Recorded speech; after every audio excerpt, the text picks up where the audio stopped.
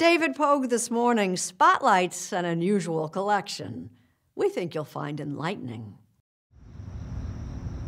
In an unassuming strip mall in Owings Mills, Maryland, sits one of the greatest collections of its kind in the world. Well, let's look at the vestibule. Chad Shapiro's day job is running a home automation business, but his obsession is nurturing his collection.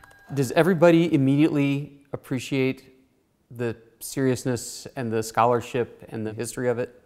No. Most people who aren't collectors think it's a little silly. And what he collects is old light bulbs.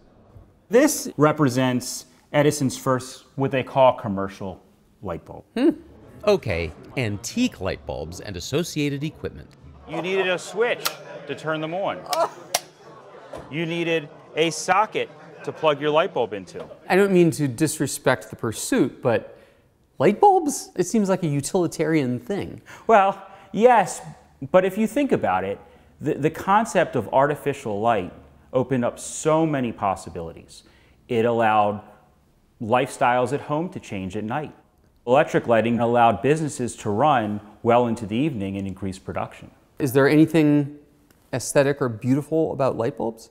If you look at the different shapes, the forms, colors of glass on internal components, I think they're quite beautiful. And that kind of beauty can drive a man to extremes. If it's a really important piece, you travel to get it. And I've traveled as far as Austria. What? You went to Austria to pick up a bulb? Correct. So there's no place I won't go. And there's no price you won't pay either. In this business, the holy grails are bulbs designed by Thomas Edison.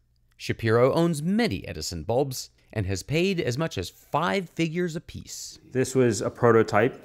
This was never produced for sale. And that makes it more valuable. Absolutely. Okay. And this is a bulb. At the time, they called them lamps, electric lamps, that was designed to be used in a mine. It was displayed by Edison at the Crystal Palace Electrical Expo in 1882, and it's the only one in the world.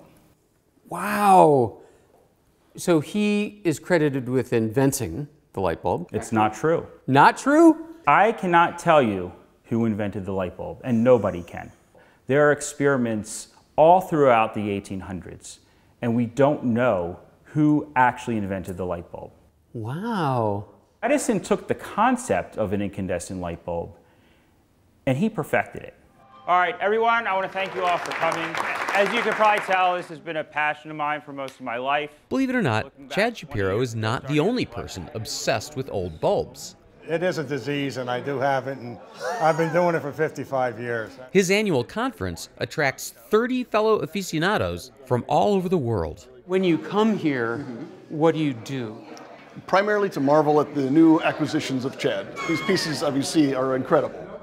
On our first date, you know, he spoke about light bulbs for 90 minutes straight.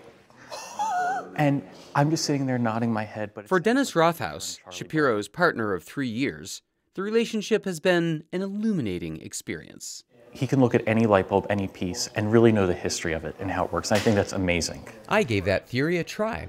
So if I were to pluck a bulb at random, would you be able to tell me about it? Absolutely. Right. Try me.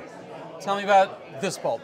This is a light bulb made under the name of the new type Edison, but this was actually a General Electric product. So a bulb like this would have been made about 1895.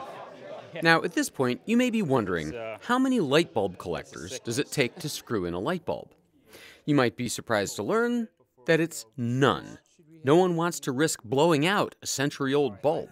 This is an Edison light bulb made about 1883 to 1885. But Chad wow. Shapiro still wanted to show us that he can light up a room. We're going to give it a go. Oh, man. Far out. Wow. Now, is that full brightness? No, we're not going to go full brightness. It's just too risky. Someday, Chad Shapiro would love to see his collection featured in a museum. But for now, he's happy to light the way for the rest of us. Yeah, it, it's you collect what? Like they're like standards of collecting baseball cards, coins, stamps. Like where'd you get light bulbs? Why, why would you collect light bulbs? But once you explain the importance of them, people, the light bulb goes off, right?